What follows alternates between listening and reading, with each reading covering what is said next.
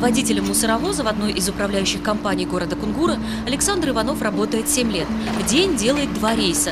Вывозит более 10 тонн мусора. Чего не любит Александр, так это дождливой погоды. В распутицу трудно бывает заехать на полигон твердых бытовых отходов. Машина тонет в грязи и в мусоре. Сейчас вот сухо, она более-менее все. А вот когда сыро, сплит бывает, что ну, стаскивают машину. Грязь все равно же. И вот и начинают, ждешь трактор, когда подъедет там. Вот я недавно буксовал, я здесь содрал, новая резина у нас стоит. Да много чего, ребята тоже здесь оставляют бампера.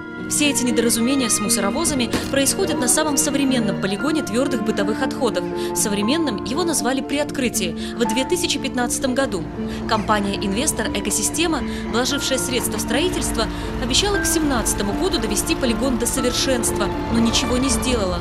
Это полигон, который нам обозначили, сказали, что он будет лучшим в крае, что он будет полигоном номер один европейского уровня. Но на сегодняшний день э, мы видим, что полигон как полигон не работает. Он работает как обычная простая свалка.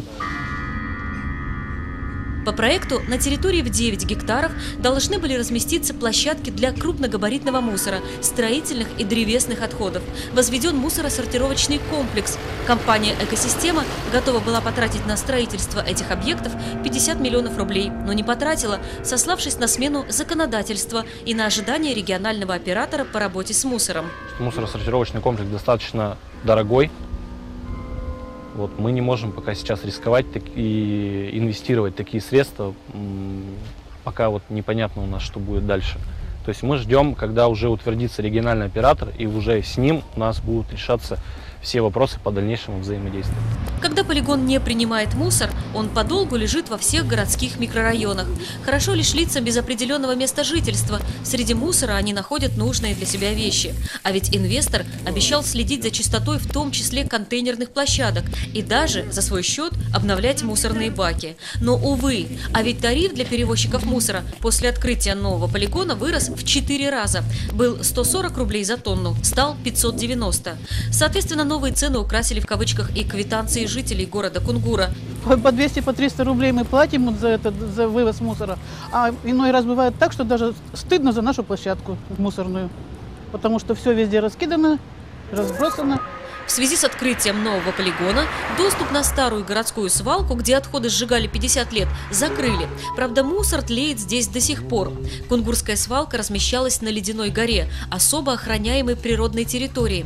Ледяная пещера, расположенная в недрах горы, из-за соседства с мусором не могла попасть под защиту ЮНЕСКО. Теперь у нее появился шанс. Даже помимо того, что, наверное, надо подавать заявки для ЮНЕСКО, мы обязаны, как эксплуатирующая организация, обеспечить э, природно-культурный памятник «Ледяная гора», где э, мы должны соблюдать все правила экологии, всего в километре от полигона расположена деревня Мыльники. В свое время сельские жители собирали подписи против строительства свалки, но им объяснили, что мусор будут перерабатывать, а не сжигать, поэтому волноваться не стоит. Вышло наоборот, мусор на полигоне начал гореть, едкий дым устремился в сторону деревни.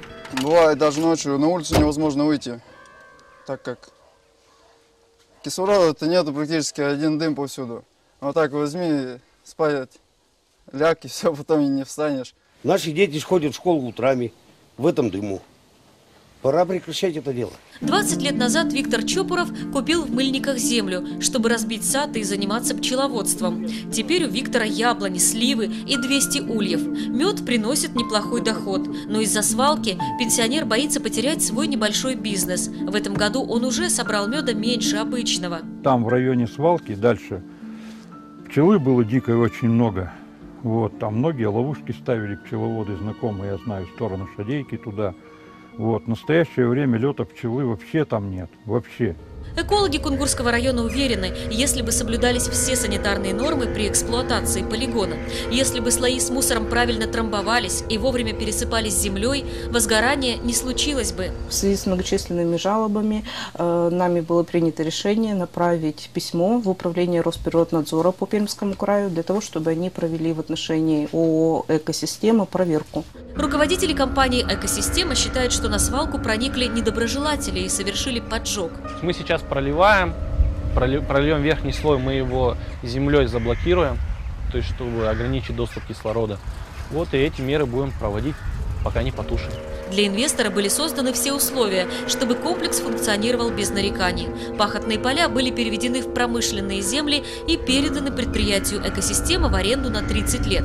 Арендаторы в ответ на долгосрочное сотрудничество обещали создать 50 рабочих мест. Не создали, вновь сэкономили. Как будет решена проблема, пока не знает никто. Поэтому отрасль немножко замерла. Она еще не понимает, что будет и как происходит. Поэтому мы работаем с тем, что есть на сегодня. Есть 50% готовности этого полигона, есть те, кто на нем работают, арендаторы, есть те, кто, значит, привозят мусор туда, чаще это управляющие компании, либо частные лица. Глядя на все недоработки, единственное, что может сделать администрация города Кунгура, так это отказать в продлении договора аренды, но пока проявляет терпение, потому что нет альтернативы. По законодательству в 2018 году лицензию получат только те полигоны ТБО, на территории которых сортируется мусор. А значит, мусоросортировочный комплекс все-таки придется построить, если компания «Экосистема» намерена и дальше работать в Кунгуре. Юлия Долгова, Михаил Овсейчик, Пермский край.